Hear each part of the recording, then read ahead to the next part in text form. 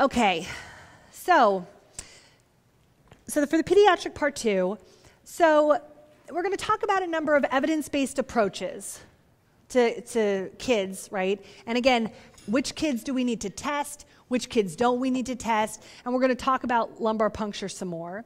Um, risk stratification is a really important thing that we do for children with fever, okay? Because we want to know who's at risk for getting sick, who's not at risk for getting sick.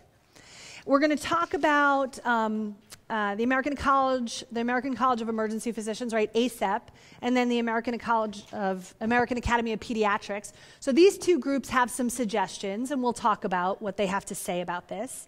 And um, and then we're going to talk about this first section here, which talks about some recent algorithms. Okay? And then, um, again, most of the algorithms that we have are kids less than 60 days okay because once you hit you know once you're over the three three month mark at that point really it, a lot of it we're going to see is more um, clinical gestalt you know what does uh, the clinician think? Um, do these kids look sick? But when we start to get under that and again especially under um, 60 days and then you're going to see you know under 28 days this is a little bit more algorithmic and we'll look at that. All right so the first question here does fever evaluation vary with patient age? Yeah, of course it does, right? This is what we just talked about. So, kids less than 28 days, right? These are the ones that we're most aggressive with. Um, when we get between 29 and 60 days, we're following our algorithms. And then when we're more than 60 days, you know, pretty much it's like based on our years of experience and whether the kid looks sick, and that's how we do it. So, less than 28 days, these kids are getting mostly your full septic workup mostly with lumbar punctures. And we're going to talk again more about lumbar punctures, and we're going to see which kids don't need it. We're going to even get down to one week. Okay? So we're going to even talk about kids older than one week, whether they need lumbar punctures or not. And then 29 to 60 days, again, this is more the protocol plus minus LP. Um, and then whether we admit them or not, it's based on what we find. Kids less than 28 days, all these kids are coming in. And then greater than 60 days, you know, it's basically our clinical impression. All right, so let's start to talk about some of these algorithms and, and some of this risk stratification stuff. So, this first, next question says What are the current algorithms and recommendations for the management of pediatric patients with fever? Okay, so this, you guys have this table, okay, and this is the traffic light criteria. So, this is from the National Institute for Health and Clinical Excellence. Okay, nice. This is British. Um, and it's a system for identifying uh, risk of serious illness. And they break it down by looking at color, right? The color of the kid, activity, um, you know, respiratory status, and circulation. And you know, you'll see the different colors. They say you can tell it's British because they have green, amber, and red. Right? That's how you know. Um, so, green, this is basically like your well appearing child, okay? They have normal color, they don't have pallor, they're awake, you know, you can interact with the child, they'll coo to you. Um, you know, they're either crying because, you know, you're irritating them some way, or they'll come in their parents' arms.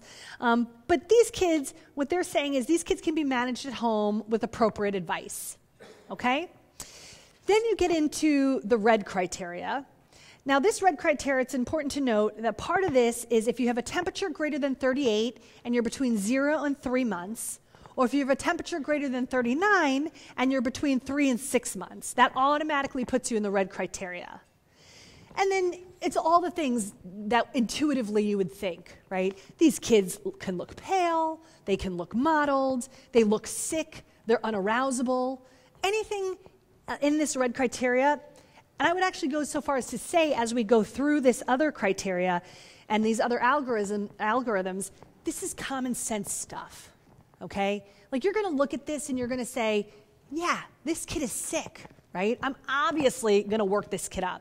So, so that'll reassure you a little bit knowing that you're a good clinician because this is the stuff you're already doing, right? If you see a kid that's like super tachypneic and grunting and pale and mottled, you're not going to be like, yeah, go home, take some Tylenol, right? No, you're going to be like, you need to be evaluated. And so this is exactly what this is telling us. Anywhere that falls in the red criteria, they're saying this patient needs face to face assessment, okay? All right, so the first abstract here takes a look at this traffic light criteria to see how well it worked. And it's a retrospective study. It's about you know 16,000 kids. So a lot of these studies have lots of children they're looking at, and um, they were looking for UTIs, bacteremia, pneumonia. They found that UTIs um, were documented about three and a half um, percent of kids. Okay, so that was the most there, and they found the sensitivity and specificity for this criteria, the traffic light criteria. Um, for a serious bacterial illness, they found the sensitivity to be 85%, okay? But it was 85% if they included the red and the amber. Okay, so this is like the majority of kids, right? So basically, like unless the kid was like skipping down the hall, they would be like, hmm, you need to be evaluated, right? And they only got a sensitivity of 85 there. So if they were to do the red only, the sensitivity drops down a little below 50%. So that's not great, not great. Um, and if they only did uh, red, then you know specificity is about 75%. But again, you know, if you're less than 50%, I, am not, I'm not convinced. So if you did this criteria and you only looked at the red, you would have missed 20% of kids with UTIs and 8% of kids with pneumonia. Not good. Not good. Um, and you would have also missed uh, about 15% of kids with bacteremia. So if you added a UA onto this, so if you did red criteria plus a UA, it would have brought your sensitivity up to 92%. Okay, which is not, not bad. So again, not good alone, but if you add the UA to it, makes it a little bit better. Okay, so now we're going to talk about um, some of the other approaches to fever. So you know, when I trained, and back when many of you were practicing too, there were three choices that you had, right? You had your Boston criteria, you had your Rochester criteria, and you had your Philly criteria. And it was pretty simple, right? You chose one. I trained in Boston, so I had no choice. But basically, you know, I mean, for me, if you were less than three months, every kid got an LP, period. That was just the way it was right? Well, things are changing now. Things are different now. And this is why it's really good that we're talking about this, because especially if you guys work with trainees, you know, if you start to bring up these criteria, they're going to look at you and be like, what are you talking about? Like, we don't do that anymore.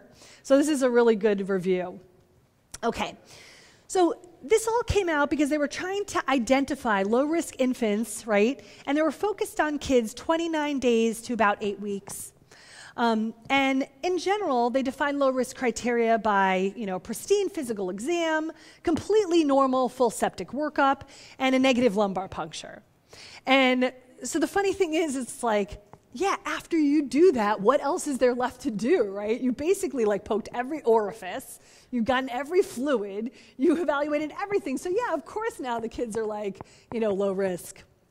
Anyway, so they found that it had a sensitivity of 98%. And again, what did you miss, right? Like, what is that 2%? What else could you have done? Um, like, full body scan? I don't know.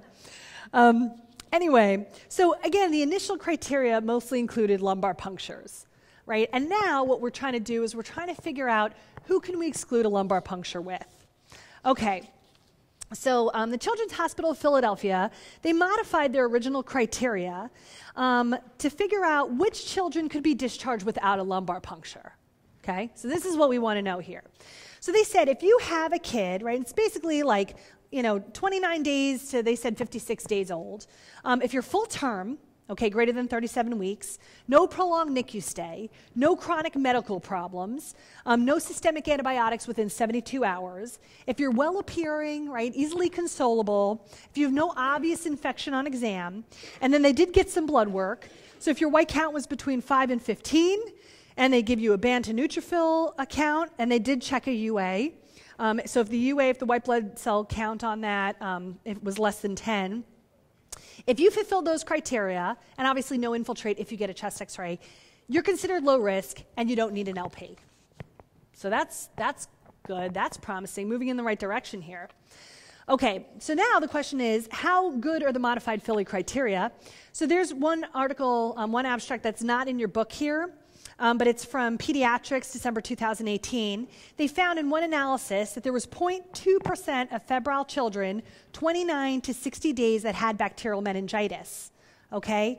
And um, the thing is, for the, these kids, that they did not fulfill the modified Philly criteria. uh, considered to be low risk. Okay? So, what this was really asking us is do all these kids need LPs? And I think we're starting to see more and more data that says we don't. Okay, so this next one, this is the step by step protocol. And you have a picture in your book on that.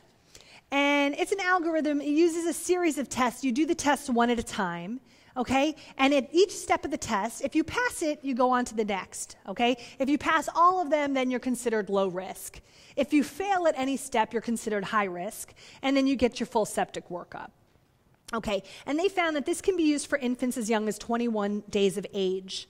Okay, so the general protocol here is you, you look at the kid, okay, they do a pediatric triangle they talk about, which is basically appearance, work of breathing, circulation to skin. All right, the next step is you're going to check their age, okay? If they're less than 21 days, you're out. Um, you get a UA. If you've got pyuria, you're out, okay? You're going to get blood. If you've got a procalcitonin here um, greater than 0.5, all right, you fall out. And then they look at either a CRP or an absolute neutrophil count. And again, if you pass all this, if all this is negative, you're considered low risk and you don't need to do it.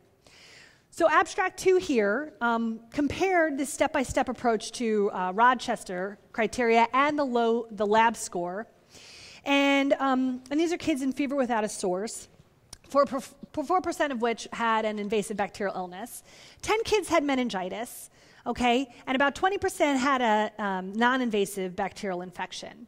So, they found that the sensitivity of the step by step approach was 92%. Rochester 82%, and the lab score only 60%. So the bottom line of this one was, um, you know, stick with the modified Philly because you end up doing better with that. All right, then there's this revised criteria. So this is one of the more uh, recent risk stratification tools, and this is a project of the AAP. And um, so what they found here is these are the criteria. They looked at age 7 to 28 days, okay? So this is greater than 1 week. And again, white count 5 to 15, bands less than 1500. So normal UAs, either a normal CRP or procalcitonin, and no antibiotics prior. So if you, okay, so if you fulfill these criteria, then um, they basically say that you don't have to get a lumbar puncture. And the take home here is they break it up into three different groups. So if you're less than seven days, no matter what, if you're less than seven days, you're getting an LP and you're getting admitted. Nobody's arguing with that, right? None of us are arguing with that. If you're between 8 to 28 days, they're saying um, you either don't have to get an LP and you get admitted, or you get an LP plus antibiotics and get admitted. But if you're greater than 29 days, so 29 to 60, you don't get an LP and you can get discharged. So that's kind of the take home of what that was. All right, and then this next article, Abstract 3, talks about how good is our gut feeling. Um, and so what this says is this said that with a clinician's gut feeling, they, they, it had a sensitivity of about 60%, actually almost like the lab score, right? So that's good. We're as good as the lab score. Um, but our specificity was about 97%. The problem is that we missed almost 40% of the kids here with serious infections. So, you know, I, I, what, what this is saying is, what this is saying here is, are there phenomenal doctors? Absolutely, right? Are there doctors who will never miss anything? Maybe there are okay? Maybe there are clinicians who will never miss anything. But we have these algorithms to kind of bring us towards the middle, right? We have these algorithms to kind of help us and make sure we don't miss any of these other kids. And then the next section here says, Do clinicians follow guidelines? Okay, so now we know we should be following these. Do we follow them? I will tell you this anytime you see a question that says, Do clinicians follow guidelines? What do you think the answer is? No, we don't follow guidelines, right? It's never good. Um, so that's what this one this is what this one looked at. And what they found is that the rates of recommended treatment varied anywhere from 40% to 100%. Recommended management anywhere from about 65%, okay, of neonates overall, um, which is not uh, you know not ideal. Um, and then again, recommended management ranged anywhere from 40% to 88%. So again, kind of all over the place. So you know, the take home here is that we don't do great, okay? And, and I think what this is also telling us, if you look at this, it says rates of recommended treatment. So, rates of recommended treatment in the discharged infants, 3%, and in the admitted infants, 95%. Right? So basically, it's like we're deciding, we're like, this kid's gonna go home, I'm not gonna do anything for it. This kid's gonna come in, I'm gonna follow all the guidelines for it. Right? Whereas we really should be kind of using something to assess all of them uh, fairly. Okay, and then the next question here says What are some of the general recommendations in the care of febrile children greater than 60 days of age? And this is, this is our last question of this, of this article here. And so this talks about the ACEP clinical policy um, for fever without a source for kids 20 to 24 months. Okay? And it says that there's no clear evidence for management recommendations. Okay? And it talks about you like the fir- it answers four questions, and the first couple questions talk about UTIs, and we've already talked about that in our earlier sections.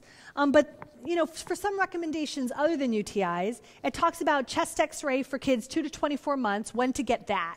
So if you have cough, hypoxia, rales, fever greater than 39 um, for greater than 48 hours, then you can consider it.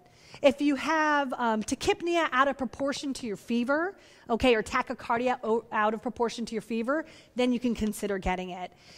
This is important also. They recommend not getting a chest x ray if your kid's only presenting with, like, otherwise well appearing, presenting with wheezing, and it looks like bronchiolitis, right? So we do not need chest x rays in routine bronchiolitis if the kid's not looking sick. And then the last question for this part talked about lumbar punctures, and it basically talked about when do you do need a lumbar puncture, and basically what they left us with is I can't help you with that. Right? That was their take home. They're like, you know, sorry guys, you guys are on your own. Um, so I think you know that just depends on you. It depends on how sick you think the kid looks, right? I think most of us are not LPing these kids. We're certainly not routine, routinely LPing them. And if they look ill, that's when we're taking it to the next step.